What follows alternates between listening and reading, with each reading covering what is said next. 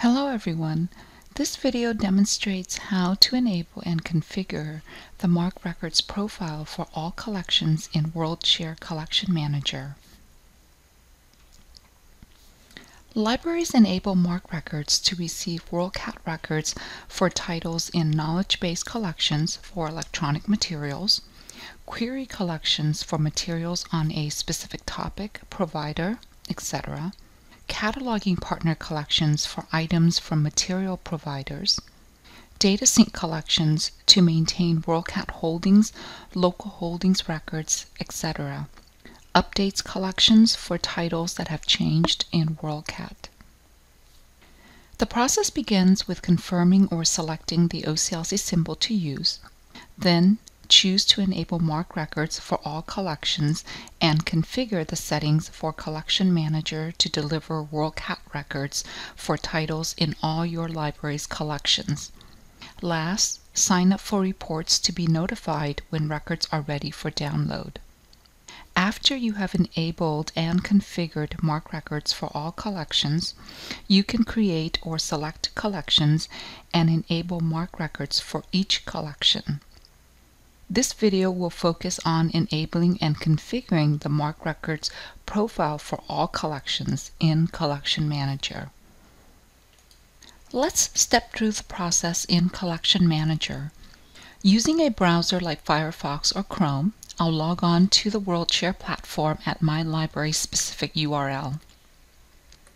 Once logged on, click Metadata Link, click Collection Manager, to expand the panel. Then navigate to Institution Settings to see all the available options. First, let us check the OCLC symbol being used. Expand the OCLC symbol accordion. Confirm or select the OCLC symbol to use for MARC records.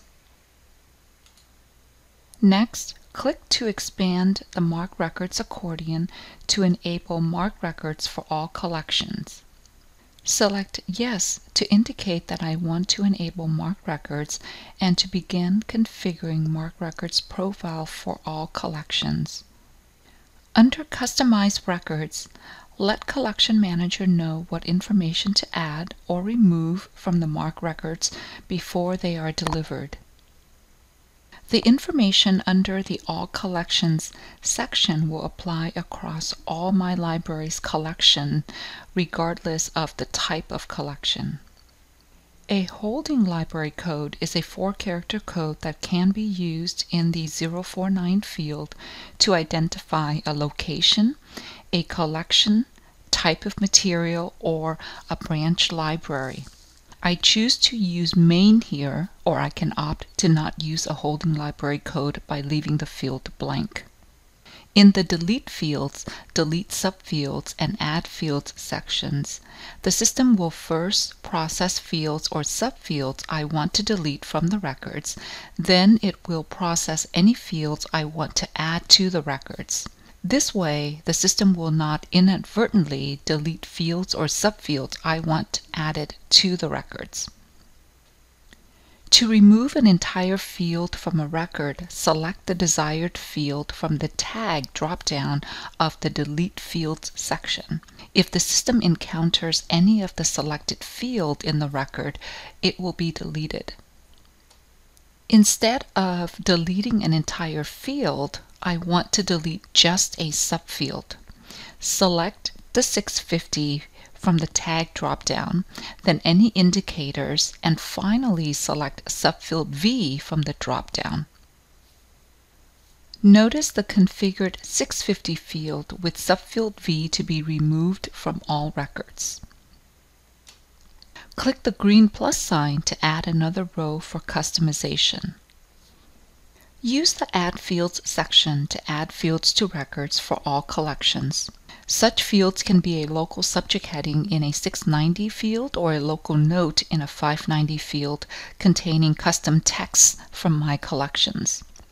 To add information to a record, simply enter the MARC tag in the text box, for example, 690 field, and select the desired indicators from the dropdown.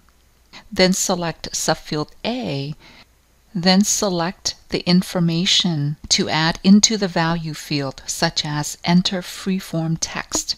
Last, enter the text to add in this field, say OCLC training history. Here we see the corresponding plus and minus signs next to each field, subfield, or value. To add an additional field or remove a field I no longer want, click the plus or minus sign next to the row containing the tag. To add additional subfields to or remove subfields from the same field, click the plus or minus sign next to the row containing the subfield within that field to add additional values to or to remove values from the same subfield, click the plus or minus sign next to the row containing the value within that subfield. When I click the plus sign in the row with the 690 tag, a new field is added and ready for me to customize. I'll add a 590 tag in this new field with subfield A to add a local note from a collection custom text and we'll use the Allen Press text 1 custom text. Collection custom text allows you to add collection level notes to your records in the specified field and subfield of your MARC Records profile. Custom texts are created within the collection, so the data in the custom text Allen Press Text 1 will be added to the 590 field, subfield A of My Records for titles in the Allen Press Journals collection. Click the Define Custom Text Labels button to add or remove text labels. These labels can be created in the MARC records profile for all collections or within a specific collection. The custom text labels table also tells us which custom texts are in use as well as which fields and subfields they're mapped to. The information under the Knowledge Base Collection 856 field section will apply only to my library's knowledge base collections. Here, I'll add a subfield U with the value KBURL. When Collection Manager processes records for delivery, it will delete all the 856 fields from the WorldCat record before adding my library specific knowledge base link. This is to ensure that the records contain only the URLs my library can access. The information customized in the WorldCat 856 field section will be applicable to query collections, cataloging partner collections, and WorldCat updates records. Collection Manager retains all 856 fields from the WorldCat records unless I choose to retain only the URLs I specify in this field. I can also add subfields to or remove subfields from the 856 fields found in WorldCat records.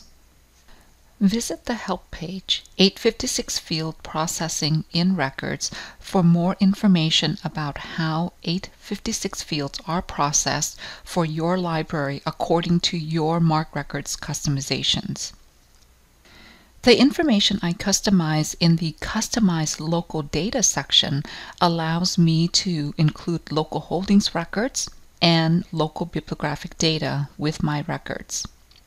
I can include my local holdings records and select to receive only a file of local holdings records, receive separate files of local holdings records and bibliographic records, or receive a file of local holdings records interleaved with my bibliographic records.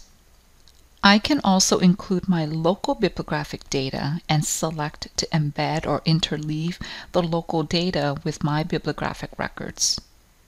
Enter the OCLC symbols for which I choose to include local holdings records and or local bibliographic data.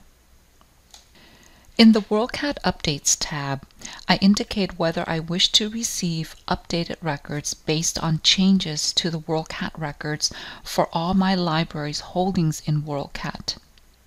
Update options include none if I do not want to receive updated records, only for knowledge base and query collections, or for knowledge base, query, data sync collections, and WorldCat holdings.